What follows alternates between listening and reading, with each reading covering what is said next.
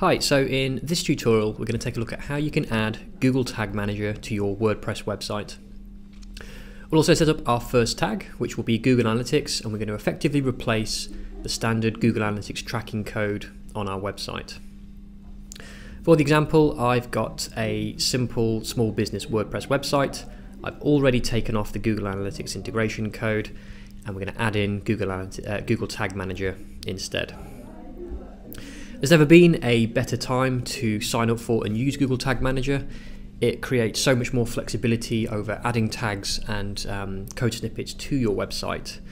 It's almost doubled in popularity over the last 12 months alone. And I think that's uh, mainly down to the fact they've got a fantastic new um, UI which they released toward the end of uh, 2014. And also, there's a fantastic training course available for free on the Google Analytics Academy. So I'm going to uh, sign up now and create a new account for my website.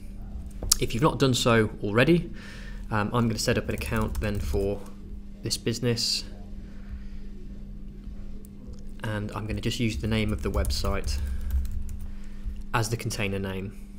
We're obviously being a WordPress website web application and I'm accepting the terms which is going to create our container and give us the code snippet that we need to integrate onto our website. Now, unlike the Google Analytics tracking code, which, which goes just before the end of the closing head tag, we need to add this code to our theme's um, uh, header area, but just after the opening body tag. Now, to do that, you can open your website theme in the code editor, or you can quite conveniently just use the editor within the uh, WordPress dashboard to integrate this code into the site. So I'm just going to head down to Appearance and excuse me, Editor, and then I'm going to find the header file over here on the right hand side.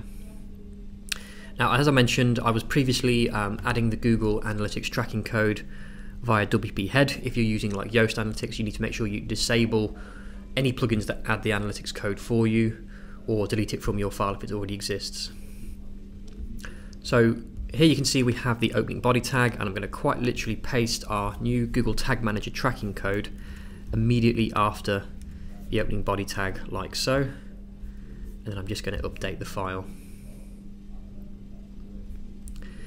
Now what I can do to obviously check that that's taken effect is just view the source on the front end of the website and because that's the theme's header file I also know that's obviously going to, going to be coming out automatically on every page of the website.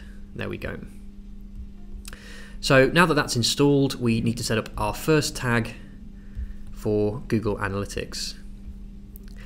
Over on the left hand side, we can go to tags and create a new tag. But what we'll do first of all, which is really helpful for setting up any Google Analytics tags, is to create a variable. Now there's lots of built-in predefined variables available, but for the purposes of Google Analytics, what we want to do is create a variable that we can reuse over and over again and in this instance, we want to create a variable for our Google Analytics property ID. So in order to get our property ID, we can go to the property settings and you'll see within the basic settings we have our tracking ID just here. So I'm going to copy that.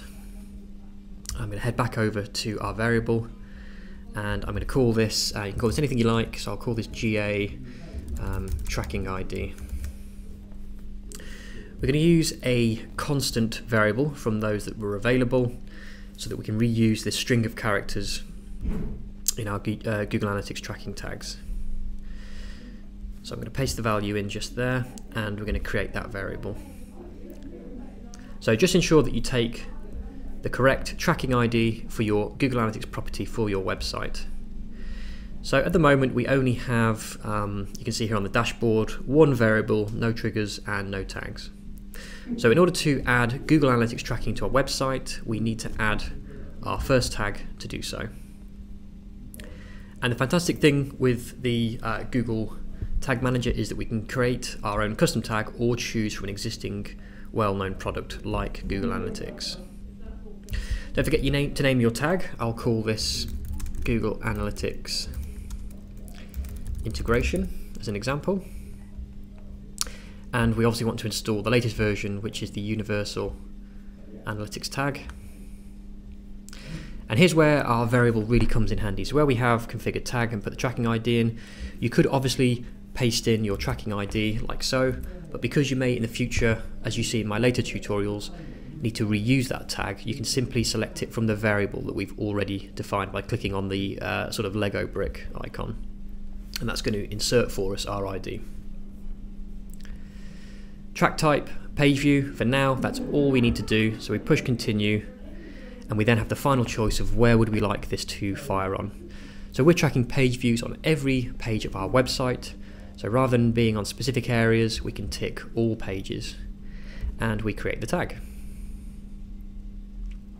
So we now have everything in place in order to activate our first um, tag, which is our Google Analytics tracking. We've got the one tag and we have that one variable. I'm going to publish my changes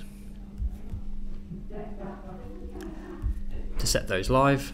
And what's also really great is if we wish, we can preview and debug our changes to the website. Now, the great thing with preview mode is that when we're over on our website on a different tag, we'll have the Google Tag Manager um, inspection panel appear and it is showing us, as you can see, which tags are firing on this page. And as I navigate my way around the website, we can see that the tag is firing each time successfully on the page.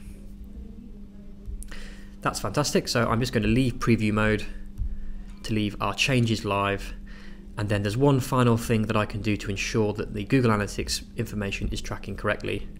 So if I perhaps head over to the Meet the Team page of the website, you'll see that our Google Tag Manager preview box has, has been removed. If I go back over to the reporting view of Google Analytics and go to real-time tracking, we can see that I'm viewing the page right now, which is the Meet the Team page, that we know that the tracking is working effectively with our new Google Tag Manager integration.